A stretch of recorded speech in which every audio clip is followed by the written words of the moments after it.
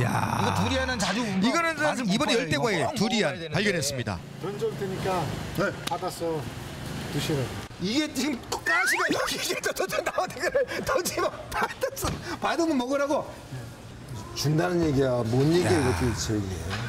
아니 사장님 머리. 쓰시는 거예요. 먹고 싶으면 받아. 던질 때 얘기를 해. 제가 누굽니까? 배에 좀 찔렸어.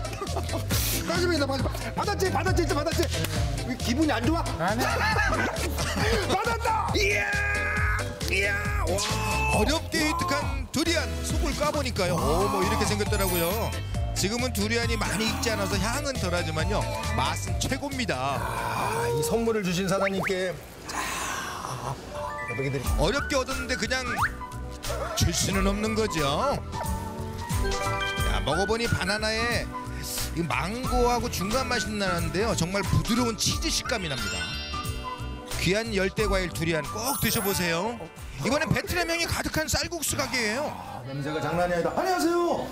아, 여기 오면은 네, 제대로 된 쌀국수 맛을 볼 수 있다고 하는데 맞아요? 네 맞아요. 참말이에요? 네, 베트남에서 왔어요. 베트남 어디? 베트남 어디서 오셨어요? 베트남. 호치민요. 호찌민. I love you 호찌민. 호찌민 호찌민 내가 한 번도 안 가봤어 호찌민을. 네, 시간 돼 한번 놀러 오세요. 베트남 현지인들이 먹으러 온다는 베트남 사장님 쌀국수 가게. 일단 비주얼부터 먹음직스럽죠. 어용 아유 베트남 쌀국수잖아. 베트남어로 맛있게 드세요. 아 그럼 뭐형 물어보세요. 쌀국수 형 그러지. 그런데 제가 처음 보는 모둠 쌀국수를 추천하셨어요. 모둠. 이 모둠은 못 먹어서 이게 진짜 베트남 쌀국수 맞아요? 네, 맞습니다. 현지에서 이렇게 드셔요 이렇게? 네, 쌀국수 속에 고기 만두, 족발, 선지, 두부가 잔뜩 들었는데요. 이 숙주나물과 고수를 곁들여서 먹어주면 아주 그냥 둘이 먹다가 셋이 죽어도 모른답니다. 이거는 뭐예요 이거는? 이 족발이에요. 우리나라 족발보다 훨씬 부드럽고 잘 뜯기는 베트남 족발. 국물 맛도 시원하고 속이 확 풀리더라고요. 오, 좋아.